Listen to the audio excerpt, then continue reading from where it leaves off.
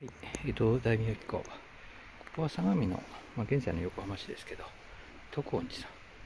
えー、武蔵相模は徳川氏が入る前にですね、まあ、甲斐の武田氏、えー、もちろん相模の、えー、小田原北条氏の、えー、関係者、また家臣、でその後ですね、えー、土着した、えー、江戸時代まで続いた旗本とか、そういう方たちが結構いてですね結構見落としというかあのすごい著名な方は少ないんですけども結構有名な方もいらっしゃるんでここはですね特に柳沢義康公の関係で、えー、まあ、実際にあのこの恩田号昔の村落ですけど柳沢信忠公という方が、まあ、関わっていると、えー、寄進されているようですよね。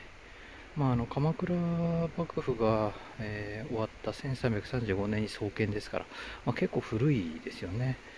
えー、で中でも正明寺金沢文庫、えー、金沢北条氏有名ですけどそちらの方の弟子が、えー、開山したということになってますね。非常に由緒はあると。あのと特にですね、まあ、事情7国ですからね、まあまあ大きいんですけど、敷地も結構大きくてですね、意外と横浜市内にもこういうところが静かな寺院があるんだなっていう感じですね。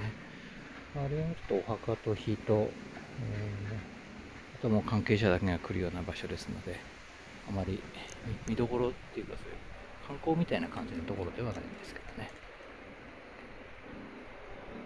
小さいのはね、門前構造さん。あとはあの、毘沙門天じゃないや、弁天様ですね。があるということが書いてありますね。大きなイチョウの木がね、まあ、江戸時代からあるような大きな、ちょっともう切ってありますけどね、葉があったらすごいでしょうね。隣はなんか寺院じゃなくて何かの施設になってますね。こちらは何かお墓のようですね。供養塔かな。